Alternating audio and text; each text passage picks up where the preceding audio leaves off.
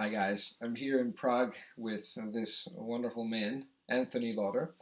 And uh, my little doggy in the background. And, and the little doggy in the background. uh, I thought we would make a video uh, speaking about language learning because this man, I don't know if uh, any of you, uh, you know, knows Anthony Lauder. He's like, what's your uh, what's your YouTube channel? What's the name of it?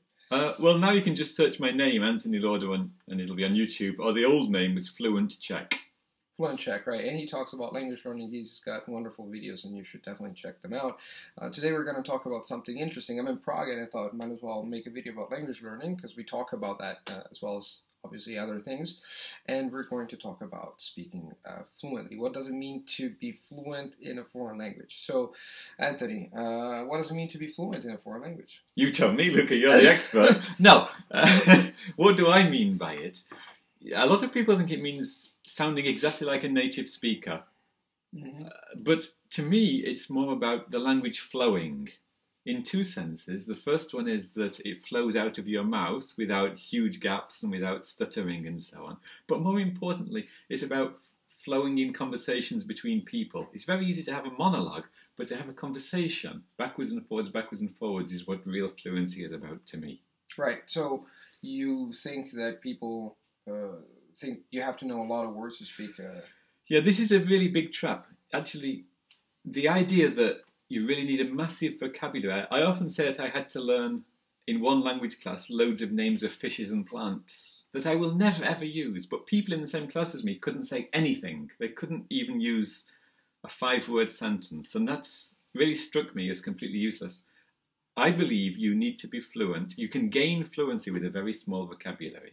Yeah. Mm-hmm. This is a very, very wise man. You have to listen to him. So, so you're what you're saying is that basically uh, you might know a lot of words, but you can't string sentences together. And but there are people actually who know not that many words, few words, who can actually have conversations. Is that really possible? Can you can you give the people who are listening to us some advice on how to do that? Because one thing is to talk about it, one thing is to actually do it. So what you speak fluent Czech, right? Because we are here in Prague once again, and you you you've been learning Czech for what? Uh, few years, few years. Few years. Well, you've heard me speaking. Can I speak any Czech? Do you think? Of course. Yeah, you go. yeah, we were, were around. He was like, uh, you know, talking to the ladies with doggies because we got this wonderful dog here. So we were chatting with the ladies. Um, yeah, you tell me what, what happened because now you speak Czech, so you know you're not conscious. Maybe you don't even remember how it was to try to learn. The I, I, I remember speak a little bit, bits and pieces. With, I remember it very well. I, I, I was taking a few language classes, and I noticed that many of the people had a very big vocabulary, but they really felt that the words were trapped in them and they couldn't come out. So I thought these classes are pretty useless. There must be something else going on.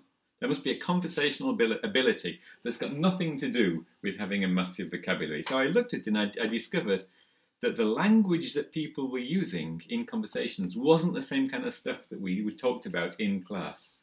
And you can learn to have a conversation with a very limited vocabulary, and then once you've got that speaking ability going, as you add future vocabulary, it then has some context, some some framework to fit into. Otherwise, you're learning endless lists and you'll never say anything. Now, I've noticed that a couple of very well respected polyglots say, Well, I don't do that. I don't have conversations till I've got a massive vocabulary. But the, the important point here is that they've already been through the process of speaking in other languages, and I think it's a skill that once you've got over this fear, the, over the hurdle, once you've got a general speaking ability, it transfers that skill with other languages. That the, you don't have the fear anymore. You realise that you will be able to speak. But when you're uh, early in language learning, perhaps it's your first language, getting over the hurdle you can do it very quickly. Once you've got over it, the fear goes away. Right, but somebody might retort to you that, okay, you can speak a little bit. Of course, you can put these words together, but what happens if you don't actually understand what people say? Because it's always, communication is always bidirectional. Yes, it talk, is. And, then... and the, you know, even though I speak Czech well, people, I, there are still things I don't understand. And I've noticed that when you're a beginner, if you say to somebody, I need train, where go, they'll realize you're not fantastic and they'll use simple language themselves. The person you're speaking with this is the important thing in a conversation. They adjust their level to you. And even at my level, even though I speak Czech well, when I'm in a group of Czechs, they adjust their level, cutting down on the slang, cutting down on the obscure cultural references. We naturally all want the conversation to flow. We don't want it to be painful, so both sides are trying.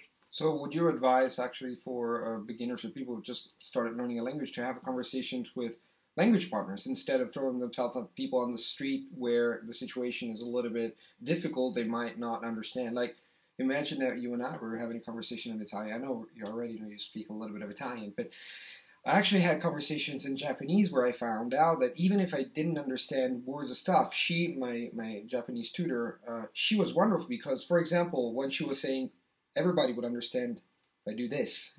Like, you know, so comprehensible input is also made with gestures, right. not only with, mm, can speak slowly, you can adjust the level, but you have a lot of, like, I can show, can understand, this is comprehensible input showing stuff, but we're able to even show verbs, you know, by doing this or walking, or obviously you can't represent everything. You can't represent nostalgia. How do you represent that?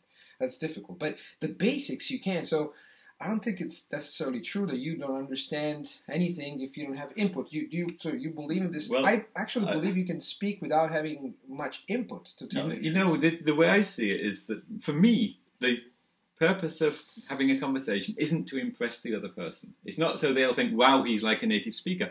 It's to actually accomplish a conversational goal, to be understood. Yeah, people have lost this. Have lost sight of uh, lost sight of this speaking language communication. It's for communication. and so, what I would say, I, I, I, saw a video just last night where some man said, I don't want to have a conversation until I can discuss politics, world affairs, and history. Mm. Now, that's great. It's a fine goal, but 99% of the conversations I have in the real world are not on politics and philosophy. It's things like, oh, my foot's hurting. Do you have some cream, please, to make the pain go away? Or I or walk the dog. Women say, "How old is your dog? He's, he's ever so cute." You know, these are not complex topics. So, practicing language in in you talk about the language partner, but even in real life, you can just have simple conversations like, "How much is the bus ticket?" These kind of real life conversations will build your confidence. Yes, Anthony, thanks a bunch. You see, this my pleasure. Very wise. Take care from Prague. Hugs, a lot of hugs from Prague. Ciao.